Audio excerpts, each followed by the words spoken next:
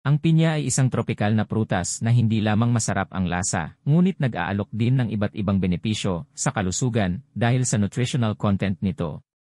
Narito ang ang sampung potensyal na benepisyo sa kalusugan ng pagkonsumo ng pinya. Una sa listahan ay ang mayaman sa bitamina at mineral. Ang pinya ay isang magandang mapagkukunan ng bitamina C, manganeso, bitamina B6 at folate.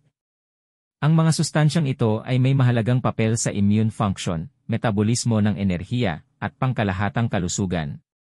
Pangalawa, digestive aid, ang pinya ay naglalaman ng isang grupo ng mga enzyme na tinatawag na bromelain, na makakatulong sa pagsira ng mga protina sa digestive system. Maaari itong mag-ambag sa mas mahusay na panunaw at pagsipsip ng mga sustansya.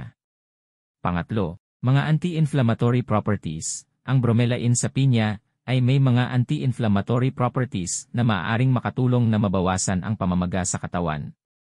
Maaari itong maging kapaki-pakinabang para sa mga kondisyon tulad ng arthritis o pagbawi pagkatapos ng operasyon. Pang-apat, suporta sa immune system. Ang mataas na nilalaman ng bitamina C sa pinya ay kilala upang palakasin ang immune system. Ang sapat na paggamit ng bitamina C ay mahalaga para sa pagpapanatili ng isang malusog na tugon sa immune. Panglima. Kalusugan ng mata, ang pinya ay naglalaman ng beta-carotene, na na-convert sa bitamina A sa katawan. Ang bitamina A ay mahalaga para sa pagpapanatili ng malusog na mga mata at pag-iwas sa macular degeneration na nauugnay sa edad. Pang-anim. Kalusugan ng puso, ang kombinasyon ng fiber, potassium, at mga anti-inflammatory compounds sa pinya ay maaaring mag-ambag sa kalusugan ng puso.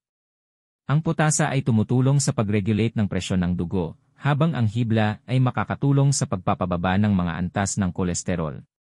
Pangpito, tulong sa pamamahala ng timbang, ang pinya ay mababa sa calories at mataas sa nilalaman ng tubig na ginagawa itong isang mahusay na pagpipilian para sa mga naghahanap upang pamahalaan ang kanilang timbang.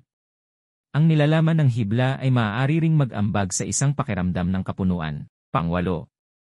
Joint health, ang mga anti-inflammatory properties ng bromelain ay maaari ding maging kapaki-pakinabang para sa mga taong may joint pain o arthritis. Maaari itong makatulong na bawasan ang pamamaga at pagbutihin ang joint function. Pangsyam, pag-iwas sa cancer. Iminumungkahi ng ilang pag-aaral na ang mga antioxidant at anti-inflammatory compound sa pinya ay maaaring may papel sa pagpigil sa ilang uri ng cancer. Gayunpaman, higit pang pananaliksik ang kailangan sa lugar na ito. At pangsampu, hydration. Ang pinya ay may mataas na nilalaman ng tubig na nag-aambag sa pangkalahatang hydration.